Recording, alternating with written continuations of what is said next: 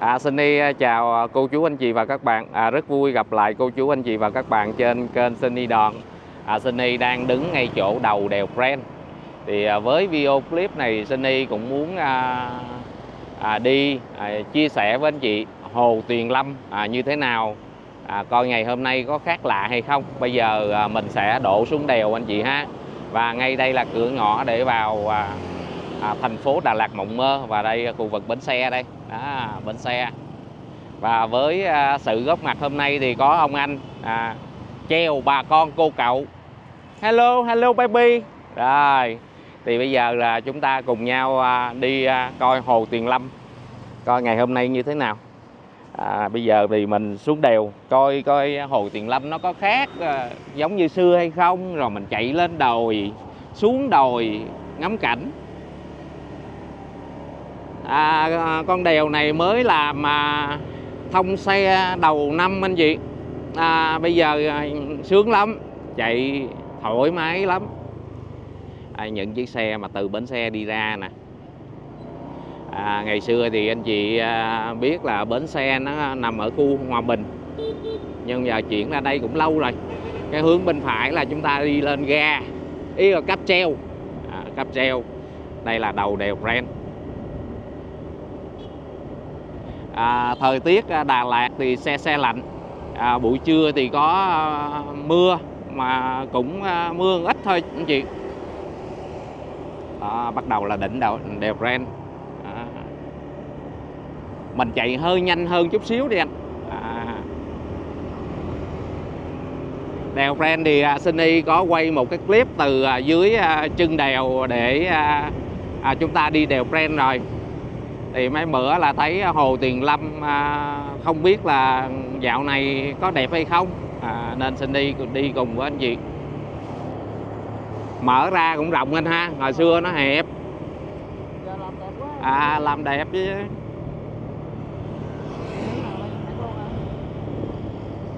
Sáng thì à, có sương mù đẹp lắm. Rồi mình quẹo xuống. Còn cái này là cái hướng à, đi lên quán cà phê hướng bên phải lên quán cà phê.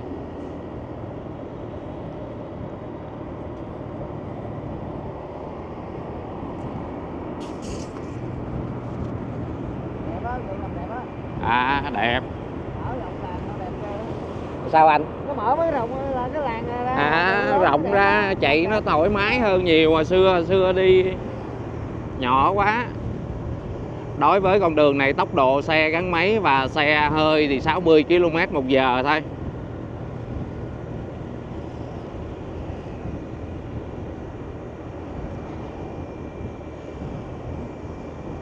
Nói đèo Brent bây giờ nó đâu còn đèo nữa với con đường rộng vậy anh ha. Ờ, rộng vậy chứ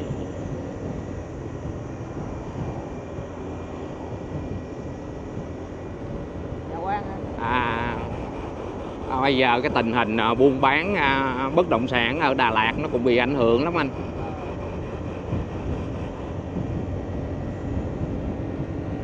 À căn nhà bên trái là căn nhà ma đó anh. Bây giờ nó làm một cái quán cà phê rồi đó. Đó, hết còn à, hoang vu giống như xưa. Chắc người ta đồn thổi với làm gì mà, đúng không? Ta thiêu dệt cho nó kỳ bí bữa nay thời tiết rất là đẹp bầu trời xanh.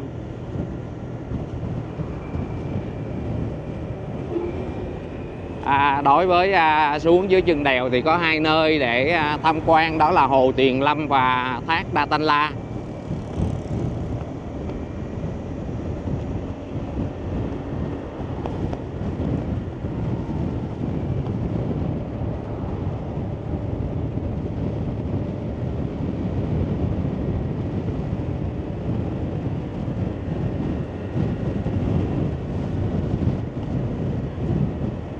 Lạnh đãi à, đã anh thì ha. Xe xe lạnh sướng luôn á. Ta lại à, cỡ khoảng à, 17 18 độ. Mát.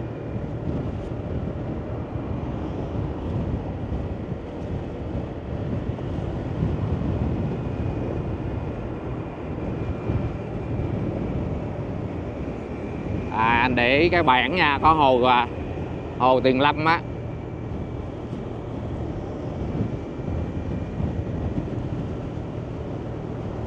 Đây đây quẹo phải đây quẹo phải quẹo phải nha. Hồ tiền Lâm à, cách à, y chưa chưa cái đoạn này chưa dưới kia. Cái này đường à, chuẩn bị mới làm. Ở đây thì có thuyền viện Trúc Lâm và chúng ta quẹo qua đây quẹo phải. À, quẹo con đường này.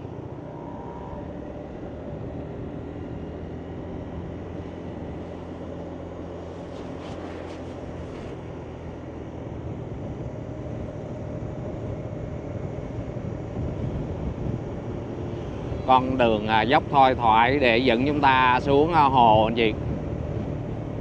Hai bên là rừng thông.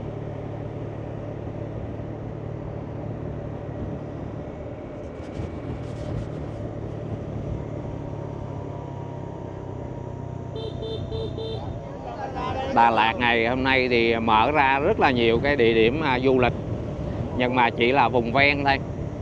Ờ, trên kia có một con dốc thì à, Sunny sẽ đi dọc bờ hồ. À vòng vèo luôn. Ồ, con đường đẹp quá vòng vèo qua rừng thông.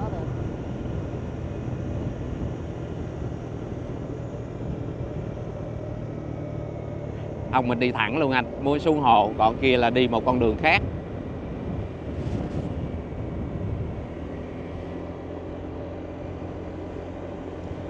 À, bây giờ thì à,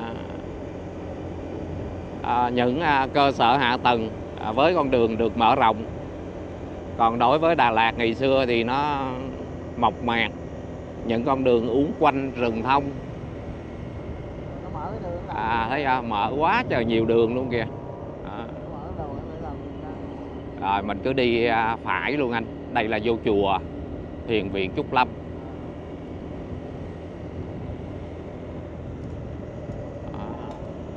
ý vườn địa đàng khu du lịch.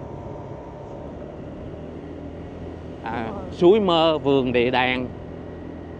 Quá trời địa điểm ha.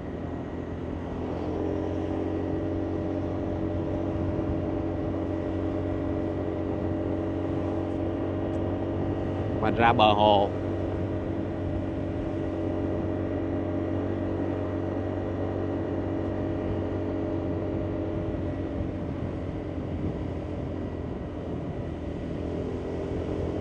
à, mình quẹo phải nè đây là cái đường xuống bờ hồ nè. Anh à, à, anh tới kia anh à, đầu qua lại ha để em ừ, đó tới à, cô gái à, đang quay phim đó. À, rồi anh quay lại đi mình đi cái hướng vòng bờ hồ hướng ngược lại đó. À, à.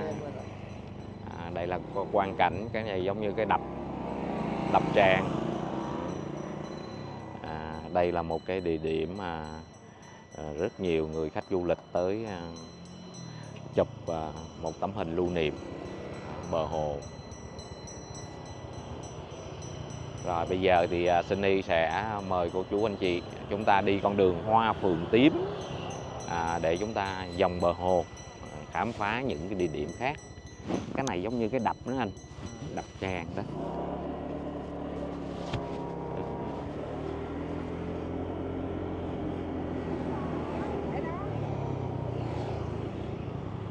Một lát nó có quán cà phê à, xe cổ đó anh em mình vô uống cà phê đó. Cái hướng này.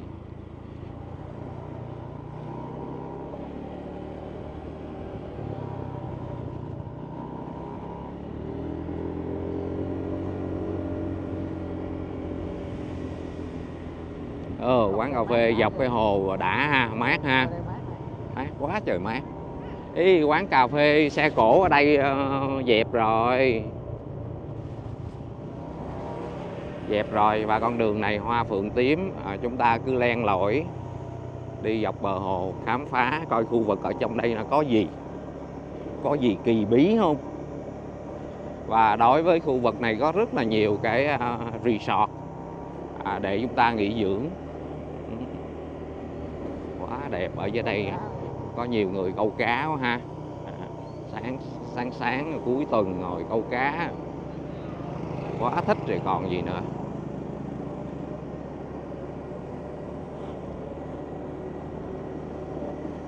Em cũng thích đi cắm trại trên à, à, Đà Lạt lắm nhưng mà mình phải lựa những cái địa điểm an ninh.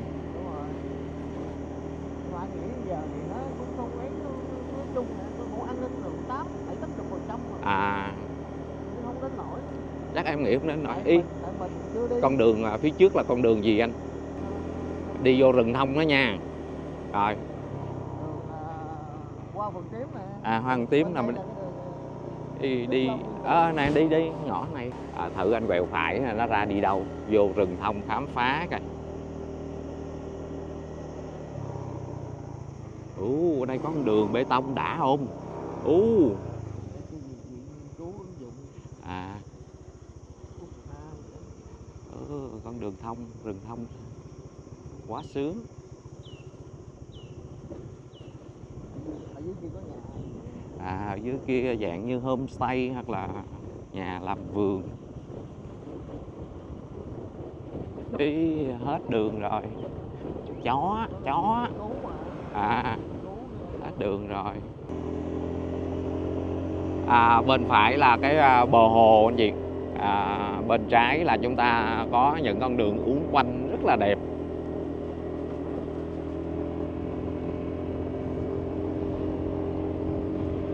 Đây là u trời ơi, đây có những cái dạng biệt thự nè anh. Nè anh ở bên trái nè. Nè nè anh ngừng lại. À, anh chạy chậm thôi. U trời ơi, bỏ ngoan luôn kìa. Nguyên một cái khu luôn kìa. Ớn lạnh không? Đã bây giờ mình kiếm đường thử mình lên chở anh Thụy ha. Nếu không có thì thôi. À.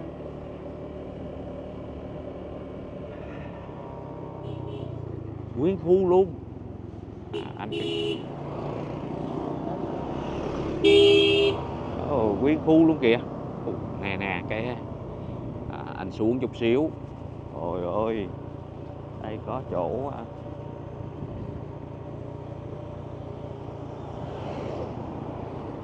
đây cái góc trái này coi mình có đường anh.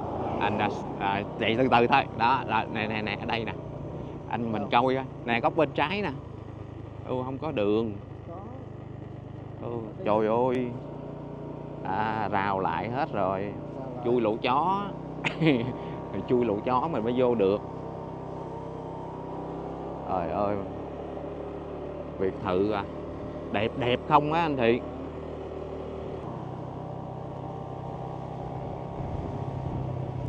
À, cái này là coi như là Sunny thấy cũng muốn à, thử tò mò à,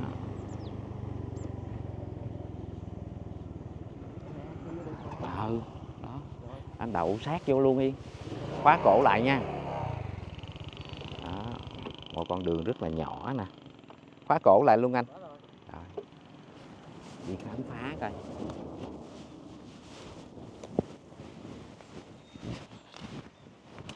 Được.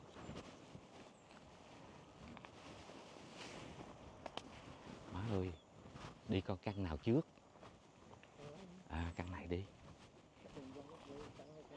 à ừ. coi cho cái khu này sao.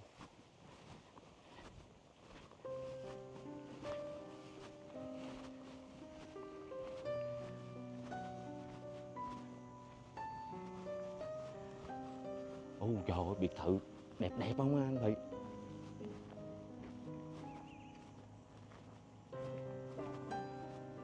Trời ơi, Má ơi, vật vả luôn.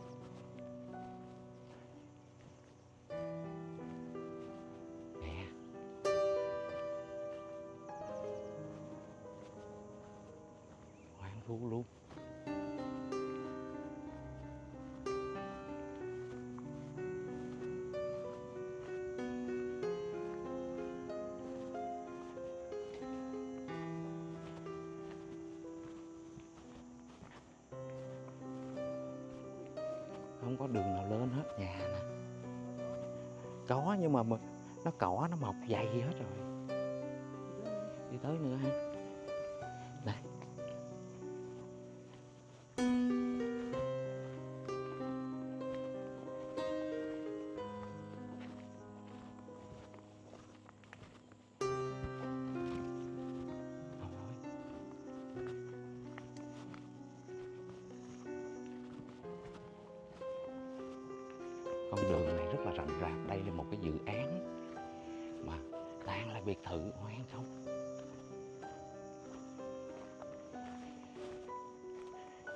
Bên đây nữa nè.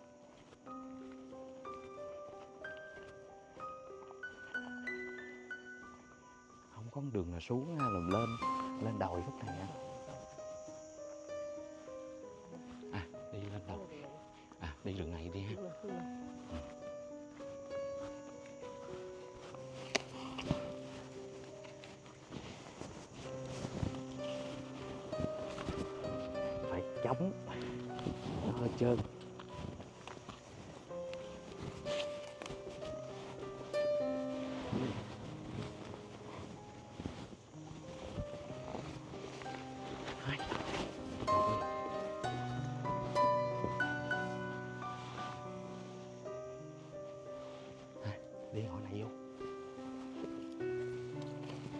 Wow.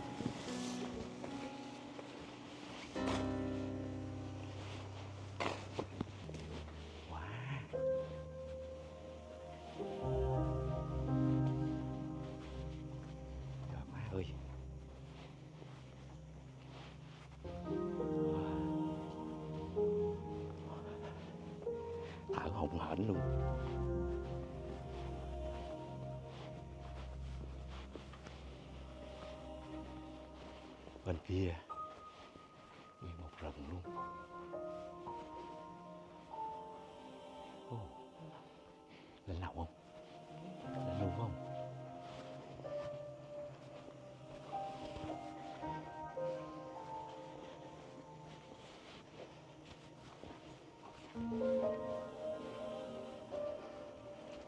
Wow. Mấy cái căn kia cũng vậy luôn á.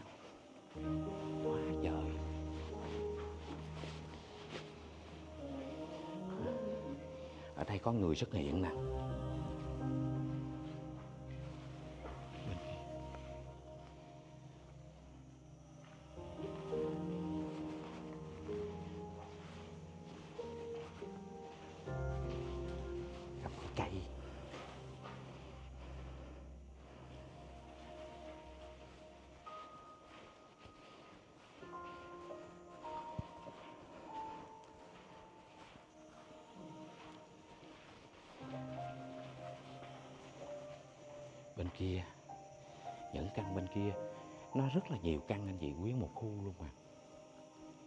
Tiếc quá à. quá tiếc luôn có người cũng cũng đột nhập vô đây nè cấm gì Cái là chữ cấm bù gì Đã.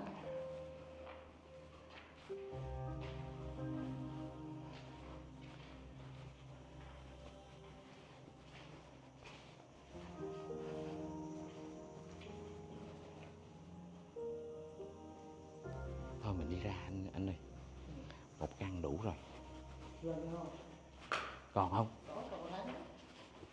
Phải lên trên cao coi. Ý cái này áp nóc rồi. Áp máy. rồi. À, tới thu à. Thôi đi xuống đi.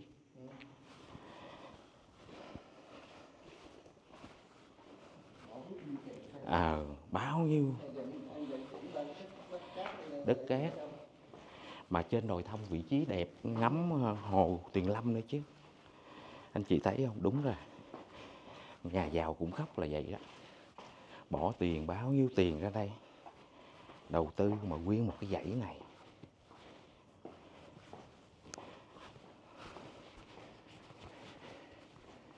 Thôi mình đi xuống, mình đi ra đi anh ơi đi. Ồ, đi xuống nó sợ nó trượt á chứ chậm thôi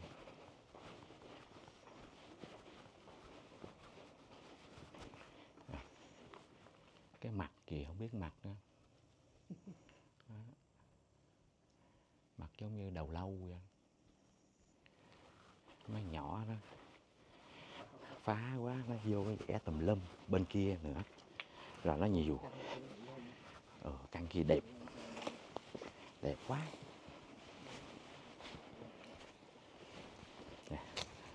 Ở đây thì chị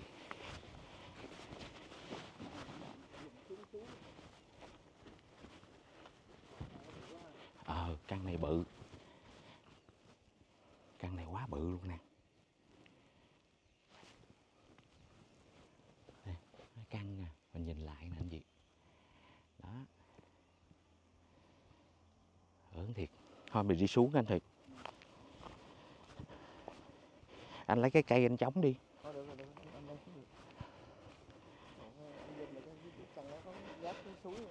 Giáp dưới suối luôn hả? Ờ đó cái suối đó. Cái- à phía sau cái suối kia đẹp không? Ừ, à, bên kia nữa kìa. Này. căn này sát suối nè. Đẹp quá đẹp luôn. Được không?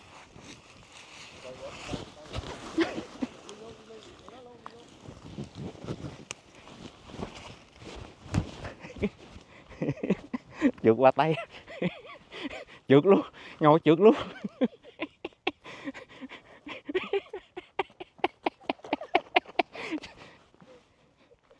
Wow, mẹ. Không căn này sâu lắm. Nó có giống như cái vật rồi không xuống được anh ơi. Ở dưới nó có con đường, thôi đi ra anh ơi.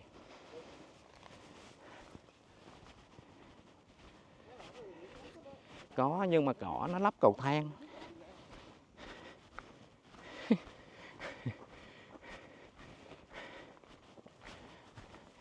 Cái này cũng có đường đi lên mà cỏ nó mọc đầy mình không thấy. Không thấy. Hả? thấy chưa bữa nay đi à, đi chơi mình mới biết được. Căn ở căn này nó cũng giống như à, cái căn kia anh, nó không có đường xuống đâu. Nó có, em nghĩ là có. Tại này đây, làm con đường mà. Ờ. Ừ. u căn này bự nè. À quá đẹp.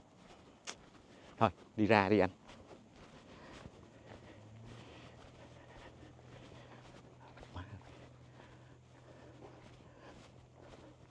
Nhưng mà mấy cái này nó vẽ nó lên cho nó vẽ ở công nhận hay thiệt ha.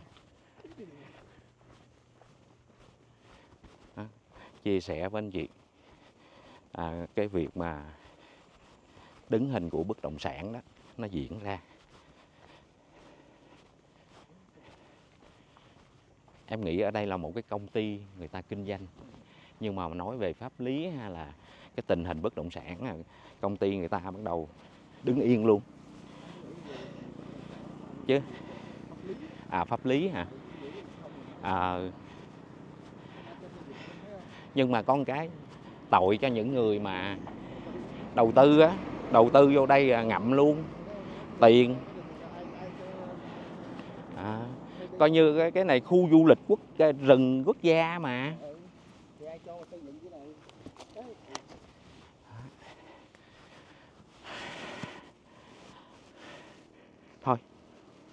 mình đi ra đi anh thị đi ra xong rồi kiếm quán cà phê mình uống uống cà phê đi.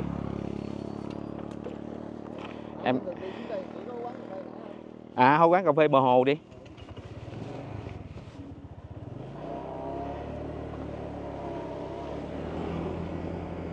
Cái quán ngay ngay chỗ cà phê bờ hồ đó đó là cái quán xe cổ nhưng mà giờ hình như à, không có cho lấn chiếm bờ hồ á Ồ, nãy mình biết mình nghe đây mình vô đây chứ mà mình đi khắp nơi đây còn nhiều lắm. Dự án biển À, dự án cái khu vực là dự án. À, dự án treo. Treo hoài treo mãi luôn. À, ở trên đầu có một đám mây á. Biết bao nhiêu tiền của này ha? Đúng không? À mợ luôn tiền không là tiền ha Két báo lên đây, đã có vấn đề cho mình dễ đâu. À.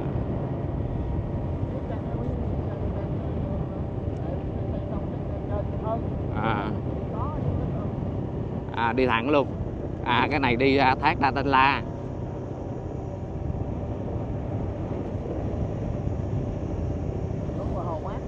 À. à, bờ hồ mát ghê thiệt. Hình như ở trước nó có một, mờ mờ xương phải không anh? Anh cảm giác mờ mờ xương không Còn không được. Sáng lên rồi đó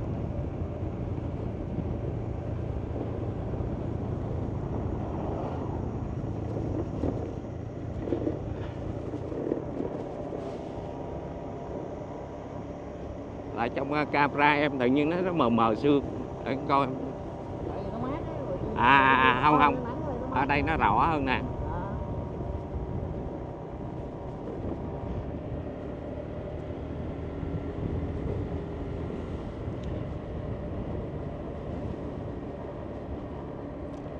Rồi mình ghé mình uống nước ha.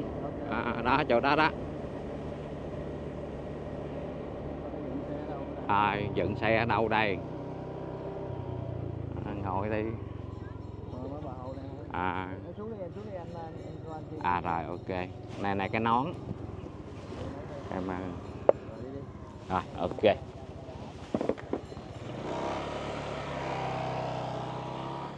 đó à, đây là bờ hồ anh chị. Và Sunny thực sự mà nói cũng rất là vui à, chia sẻ à, hồ Tuyền Lâm ngày hôm nay và à, một cái gì đó hồi hộp à, tim đập mạnh khi mà chứng kiến những cái cảnh nhà hoang. À, quá là hoang. À, ơi đúng là người giàu cũng khóc những cái à, làng biệt thự quá trời biệt thự mà Sunny chỉ là vài điểm thôi để chia sẻ với anh chị để anh chị hiểu thêm à, cái à, bất động sản à, ngày hôm nay. Đó trong rừng thông phía trước mặt anh chị đó. Rồi tới đây thì Sunny cũng thân ái à, mến chào cô chú anh chị và các bạn. À, bây giờ ngồi đây uống cà phê rồi à, bay like cam à, và một phần nào đó chia sẻ cái hình ảnh bất động sản ngày hôm nay nhận dự án. Mà vì có thể là lý do pháp lý nên bỏ hoang như thế một cái làng biệt thự ma của Đà Lạt. À, xin đi thân ái mến chào hẹn gặp lại trong những video clip sau. À.